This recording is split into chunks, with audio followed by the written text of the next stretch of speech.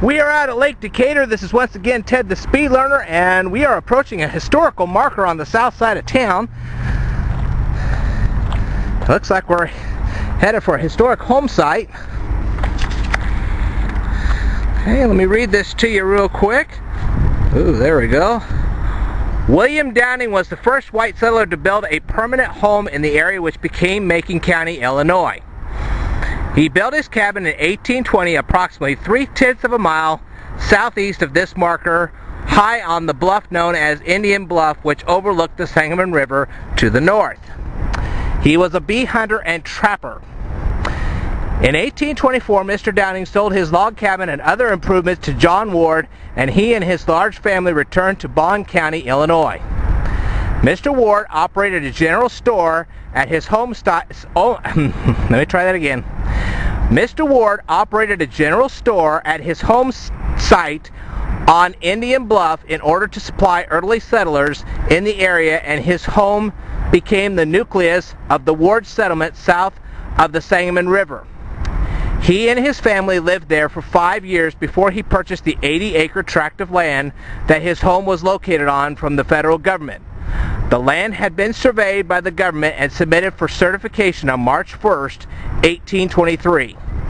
Mr. Ward purchased this 80 acres from the federal government's district land office in Vandalia on October 17, 1829 for $100. The legal description of this land was west one half, southwest one quarter, section 23, T16N, R2E of the third principal meridian, starting about 500 feet due southeast of this marker. This parcel of land measured approximately one-fourth of a mile to the north, east, and south, forming a rectangular shape measuring half mile to the north and south, and one-quarter mile to the east and west. Macon County was established January 19, 1829 by the Illinois 6th General Assembly at the state capitol in Vandalia. The next day, the Assembly approved a public state road running north and south through Macon County. Starting at Shelbyville, the, ro the road was to go through Ward's settlement, thence through Tazewell County to the mouth of the Big Vermilion on the Illinois River. John Ward was one of the three commissioners appointed to view, mark, and lay out this road. On May 14, 1829, the three commissioners submitted signed certification that this 120-mile road had been routed.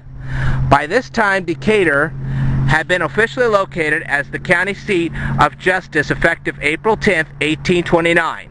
The submitted map showed that, that the next point recorded after Decatur going south was Indian Bluff before routing the additional 28 miles to Shelbyville. John Ward was issued Macon County's first ferry license on December 7th, on December 7th, 1829, and he operated a ferry across the Sangamon River as well as operating a store at his home site on Indian Bluff. The license was granted for him to keep a ferry on the North Fork of the Sangamon River where the road from Shelbyville to Decatur crosses the same. Mr. Ward died August 22, 1831, and his large family remained in Macon County. His 80-acre home site with appurtenances was sold December 25, 1837 in order to help settle his estate and distribute it to his heirs at law who were his seven children. It was purchased for $547.20 by Elijah Freeman and Andrew W. Smith. Elijah was married to Mr. Ward's sister, Margaret. His additional four tracts of land, totaling 280 acres, were equally divided, divided among his heirs or sold. After 1837 and until 1865, the ownership of acreage in the 80-acre home site changed several times.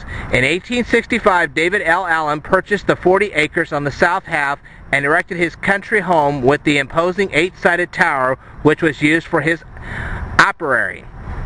In 19, hmm, in 1910, Adolph Mueller bought this 40 acres, and in 1920, the Mueller Lodge was constructed near where the Allen House had stood. The Mueller Lodge was the heart of Mueller Heights. At the present time, the northern two-thirds of the aforementioned 80 acres with the Sangamon River, hmm, with the Sangamon River Channel flowing through its covered. Okay, let's try that one more time. At the present time, the northern two-thirds of the aforementioned 80 acres with the Sangamon River channel flowing through it is covered by Lake Decatur. The historic cabin would have been located in the proximity of where Mueller Lodge had been standing for 84 years.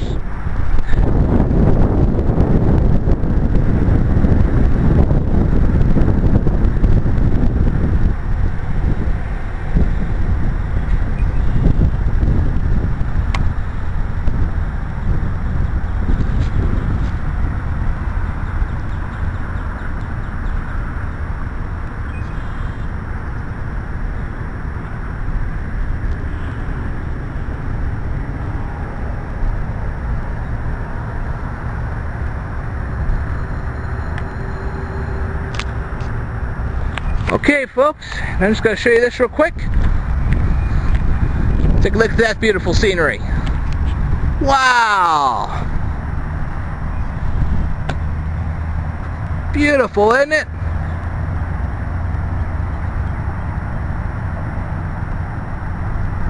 Alrighty, folks, this is Ted the Speed Learner signing off. Stay tuned for more.